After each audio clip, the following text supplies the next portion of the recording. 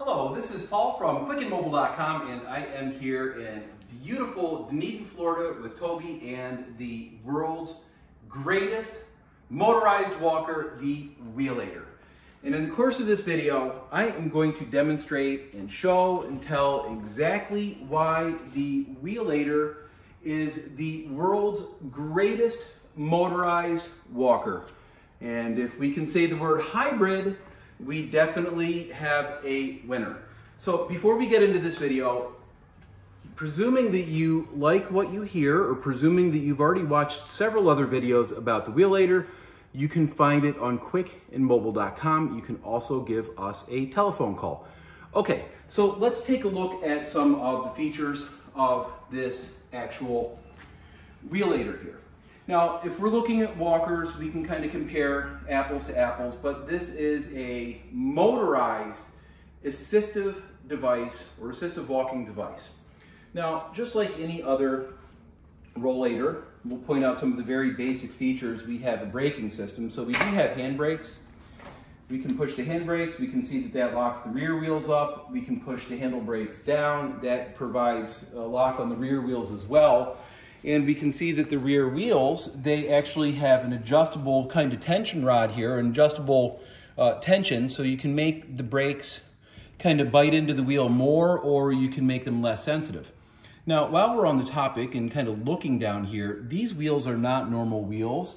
They're, they're brushless electromagnetic motors kind of hiding out in here in these two hubs, 250 watt motors, two 250 watt motors.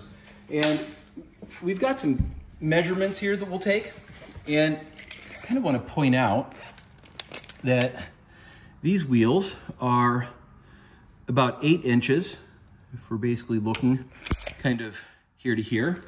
And the tread area is about an inch and a half thick. So that by itself is a lot more substantial than a regular walker. And if we look at the front wheel too, we basically have some pretty heavy duty casters here. Look at those turn. We've got aircraft grade aluminum and those hold up to 250 pounds. Just like the back wheel, you kind of see how we've got these holes drilled in, in the tires here.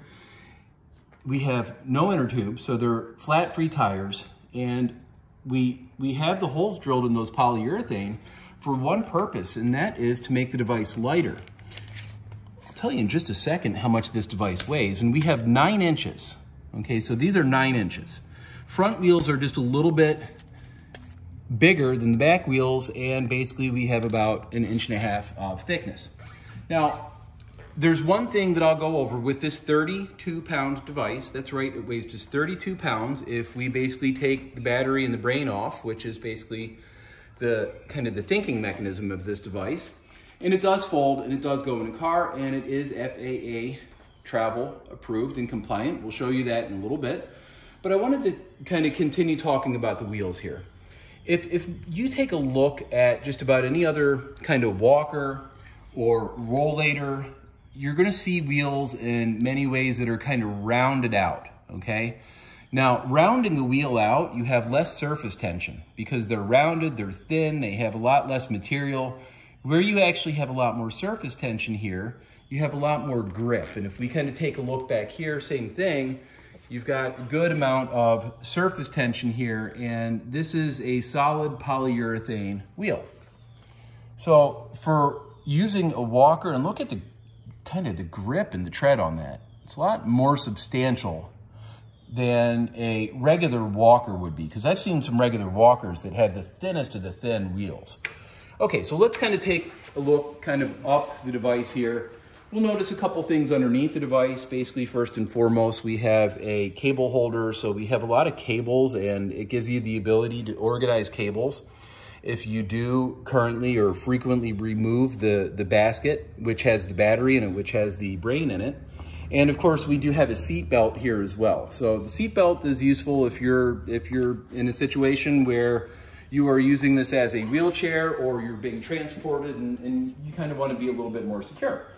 Now, of course, you can see that just like any great walker, I do have the ability to, to sit down and to, to relax.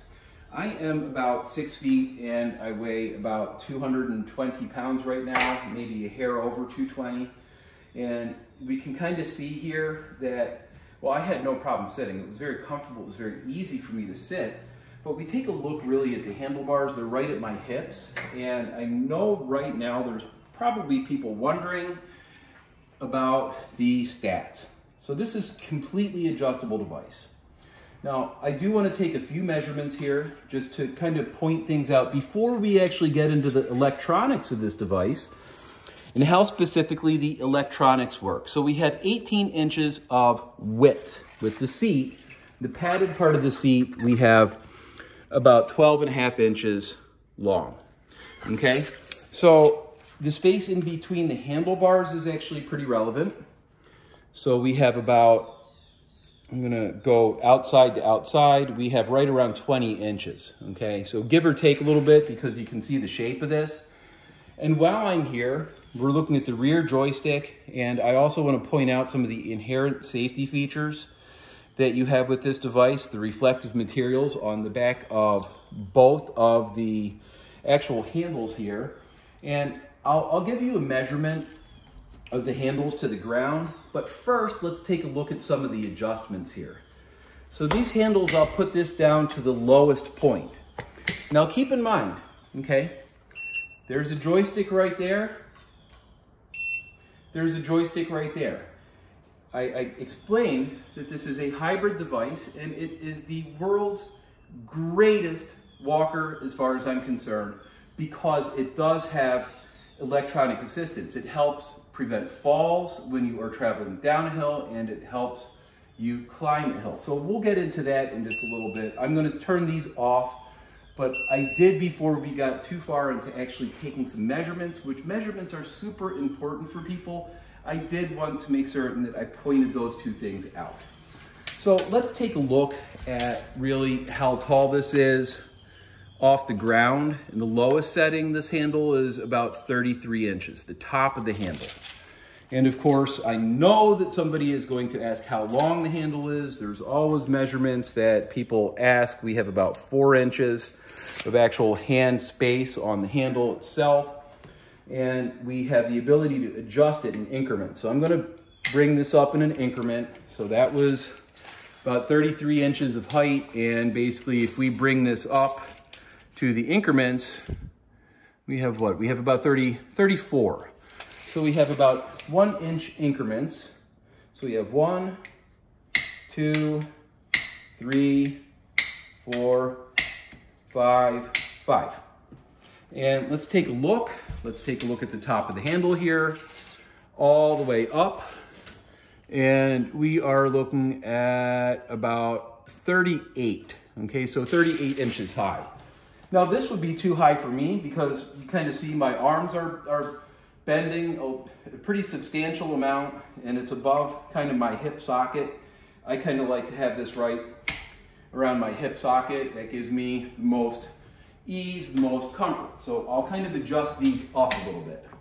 And first thing I'm gonna do is I'm going to show how some of the assistive technology on this device works, but after we fold it up. So you can see that this folds up. It is FAA airline travel compliant. Without the batteries, it weighs just 32 pounds. It functions on one battery. The operational weight is right around 39 pounds, give or take about a pound depending on if you have both batteries here, depending on if you have just one battery and you, you don't care to keep the extra battery in the basket or depending on what kind of stuff you have in the basket. So it's very lightweight and it does fold up and it does fit in the back of the car. Now I'm going to turn this back joystick on. And if we take a look, let's take a look actually at the joystick itself. We have a thumb button right here, just a button you can see. And we have actually the power button and we basically have the mode that's going to switch the gears and we have forward and back. So I'm going to turn this on and I'm going to basically see two zeros and then I'm going to see a zero one. Now what that does, I've got zero one, zero two, zero three. That's going to put resistance in these wheels. So I can move the device, but it takes me a good amount of effort to move the device. So you can see if I pushed it, you can kind of see the wheels lock up a little bit. I'm gonna push it real quick. Wheels locked up. So I've made videos and you can really see this, and this is just more of a description right here, but I've made a lot of videos where we've been going up hills, where we've been going down hills, where we've taken it on grass, gravel, we're inside, we're just explaining the device right now. So I would encourage you to please like and subscribe to our channel if you enjoy understanding more about this device because that way you're going to be presented with a lot more content and a lot more information about the Wheelator. And of course, you can also visit quickandmobile.com to learn all about the Wheelator. Okay, so if we're kind of going on a walk here, I'm, I'm pushing this, it's, it's resisting, and if the device goes forward really quickly, it kind of locks up and it beeps. So let's take a look at the joystick and it takes a few minutes or a couple, a few seconds I should say, not a few minutes, a few seconds to unlock. So I'm gonna go forward and I'm gonna simulate a fall.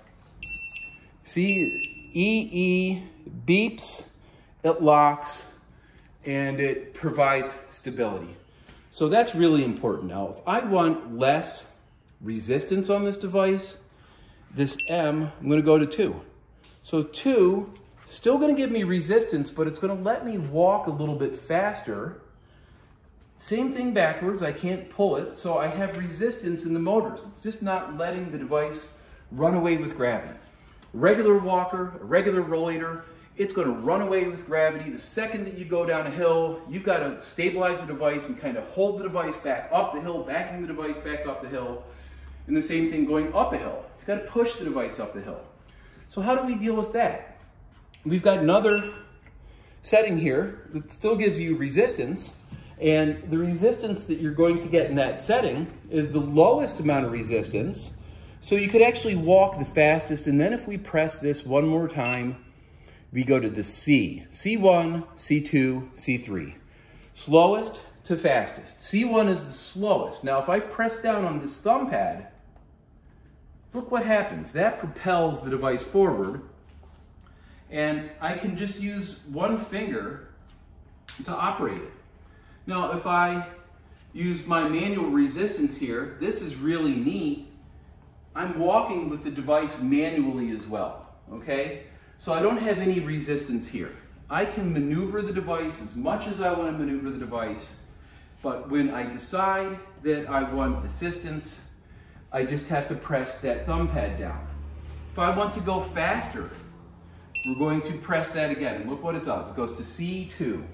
Okay, so went from C1 to C2. I'm going to press it again. It's going to go the fastest, C3.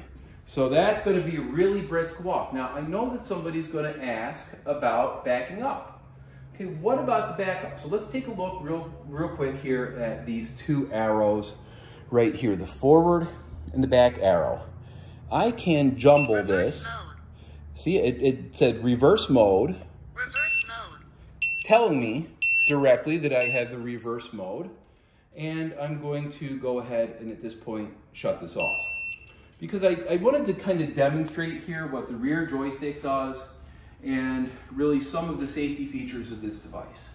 Now, I know that everybody is wondering right now, at this point in time, you know, I've probably seen a fair amount of, of, walkers. I go out to the restaurant, I see some really fancy walkers. I see walkers that people can sit down in, kind of like this one, where they can take a rest and sit down. I see walkers with big wheels. I see walkers with small wheels. I see walkers with handlebars up here where I can kind of hold myself up with my elbows. But I've never seen anything like this. I've never seen a walker with a joystick on the back and a joystick on the front. So if, you, if you've guessed that this is a hybrid device, you've absolutely guessed correctly. And before I turn this into a wheelchair, I just kind of want to do a little bit of a well, let's just do some real talk here. This device, as much as I would love everybody to have one, there are certain people that are really, really suited for this device, and there are certain people that should not get this device. For example, if you are using a walker and you love the idea that I can have something that basically gives me the ability to drive up, that resists, that kind of helps me prevent falling, that has a lot of inherent safety features, and I'm going to use it as a walker. About 70% of the time, I'm going to be walking. This is the best possible device you could get. There is nothing even close to it at the time of this video. Nothing even close. Now, if you are a wheelchair user, on the other hand, let's take a look here. I have the ability to do all sorts of adjustments here. I have the articulating backrest that will allow me to move and articulate the backrest without adjusting the handles up and down. So if I was a caregiver, for example, and I had somebody that wanted to be in a wheelchair, or we got a little bit tired and we're not using the walker anymore, we see those little, a little kind of clamp right there. I can kind of open this and snap these footrests directly into place and I can lift the armrests over. So what I'm doing is I'm watching right in front of my face this become an actual portable motorized FAA travel compliant wheelchair. And I have the ability to flip up the footrests and I have the ability to adjust. We kind of see here, there's a toolkit that comes with this and we can adjust the actual foot plates to go higher up. So we have a lot of areas of adjustability here and I'll just measure from the front of the pad to the front of the footrest, we have basically 22 inches. And if we're looking at how much space do we have just across the footrest, we look at 17 inches right here, okay? And of course, these flip up. So I'll open the basket up before I actually demo this as a wheelchair, and we'll take a look here. I have a battery that's right here. You can kind of see the battery, two batteries. So there's one battery connected to the device, and then there's another battery that we give you as a spare battery. And of course, you can see that these are lithium ion batteries and they have all of the information printed directly on the battery. So when you're traveling, this is all you would need to really present. And of course, I always suggest to people to call the airline before you actually make reservations, before you book a trip. But isn't it refreshing? Because in this day and age, the cost of lithium ion batteries is, is pretty pricey. And the concept that we actually give you two batteries is amazing. Now, you can see that this is moving. And I know the question that I'm going to get. So if I basically got in the chair by myself here and stabilizing it, how do we best get in the chair? Okay, that was fine. That didn't go back too far. Okay, I can put my legs here, but then I have another issue. I have to kind of reach around and undo the brake. So that's not really good for a lot of people. And I can turn the joystick on and let's take a look at this joystick real quick. I have a horn here. I have the ability to turn the speed down, one to five. We're gonna go just under five miles per hour with this device. And I have the ability to really kind of go in any direction as a wheelchair. So I can go backwards, I can go forwards, I can go left, I can go right. It doesn't really matter. But I think that the point that we were basically getting at earlier on is how are we going to stabilize this device so I can get in the device if I'm by myself. Now I do want to point out again, okay, and, and I think that this is a really important thing to point out if, if you're maybe able to walk about 50 yards and you get tired and you're looking to go on outings on a consistent basis, there's one of two ways that I would, that I would handle a device like this. I would get this and I would use it as my walker and wheelchair if I'm in an absolute pinch, or I would just get a lightweight foldable wheelchair. So this is really best designed because, and I'll back up and I'll complete that thought. The reason that I wouldn't just get a lightweight folding wheelchair directly from the start is because a lightweight folding wheelchair is designed for exactly that. It's ergonomically designed to be a lightweight folding wheelchair. The wheelchairs that we have on quickandmobile.com, They all fold. They're all FAA travel compliant. They're all lightweight. We even have carbon fiber wheelchairs. And if you're in the type of situation, and I know, I, uh, and I know this is tough. I know it's tough. If you're in the type of situation where we're, we're looking at, I really want to be walking, but I'm, if I tell myself the truth, if I walk 50 yards, folds up all the way behind the chair. If I walk 50 yards, I'm annihilated you, this, this situation is something that you should really reconsider. I know it's attractive. I know you probably want one. I know you probably want one right away because you want to get moving and get walking and have all the assistive technology and the help. But the reality of the situation, the message for you, if you're watching this right now, start looking at motorized power wheelchairs. It, you will be so much happier. And of course, you can get this as a secondary device and be super happy when you're having good days and you feel that maybe I was able to make it 100 yards before I got tired. Okay, so let's get back to the original topic that I was talking about. How do we stabilize the device so I can sit in the device? I'm just going to press the power on and I am going to make certain that I'm not in the C1, C2, C3. I'm going to just get in 0, 1, 0, 2, 0, 3 because if I take a look at what happens here when I try to push the device back, look what happens. It's, it's locked up, it's not allowing me to push it back. So I can move it forward slowly with one hand when I'm behind it pushing. So we can see some of the safety measures that have been done with this device. So if I'm here pushing, locks. So I can more comfortably, more confidently sit down and flip the handles down and turn this on and use this as a foldable, portable, motorized wheelchair. So let's take a look at a couple of the other things here we can do. And the joystick is, is a removable joystick. We have the ability to not just remove the joystick, but to adjust the joystick as well. This is a really unique feature because some people are petite, some people have longer, longer forearms, some people don't want to feel crowded. So to me, this is a more comfortable feel or look to the chair because I have pretty long arms actually. So if I didn't have such long arms, and if I wanted the joystick knob much closer to me, I could. And I know that somebody's gonna ask about the measurement for both situations and scenarios. So that's exactly what we're gonna do. I'm gonna show you the measurement of the actual armrest from the top of the ground.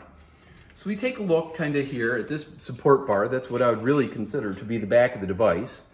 We have about 16 inches. And if I am going to bring this all the way forward, and yes, it does actually go onto the left arm as well. I can easily go either side, kind of see right here on the left arm, just real quick. I know I'm going a little bit off topic, but we have the ability to put the joystick there. And we had 16 inches, now we have about 18 inches. So it gives you a couple inches of a difference from the actual knob to the back of the chair there. And we'll go ahead and put this away and we'll just look at the actual pad itself. Pad itself here, we have about nine and a half inches and we have about two inches of width and it is very comfortable, okay? So it's comfortable and it's the material that's not just gonna break apart immediately It's going to last for a while, which is, which is quite nice. And of course, how high are the armrests from the ground? That's where we're looking at about 33 inches. And we're looking at how high is the seat from the ground? We're looking at about 20 and a half inches. So these are all some really important measurements. And as you can kind of see, this device really is like I said, it's the world's greatest walker because I can be using it just like this. It looks like a wheelchair, but it is actually serving as a walker. And if I don't want to use it as a wheelchair, I just want to sit down and relax, I can very easily do that. I can very easily lift this pad up. It's very simple just to adjust these and I, I have a completely adjustable back pad. And of course, if I even wanted to lower the handles, I can do that. So the last thing that I'll go over with this device is how to charge the device. So we take a look at the joystick. We have a charging port directly on the front of the joystick. And if we take a look at the charger here, we basically have standardized charger that comes with the device. You just very simply plug the charger in, and you are looking probably at about a good, maybe charging in as little as about two hours. First time you get it, you want to charge it for a good eight hours. Now, I don't know if there's anything else that I missed. If there is, you can absolutely leave it in the comments in the, in the question section. But I really just wanted to show you what the Wheelator is. And to me, it is absolutely the world's greatest walker because it is motorized, it is a hybrid, it will help you with the anti-fall technology, completely adjustable, lightweight, and it has features galore. So I really appreciate watching. I would like to share this with as many people as possible. It's available currently in the United States of America, and we will answer any of your questions if you just visit quickandmobile.com and you can navigate directly to the page with the Wheelator. Thank you so much for watching.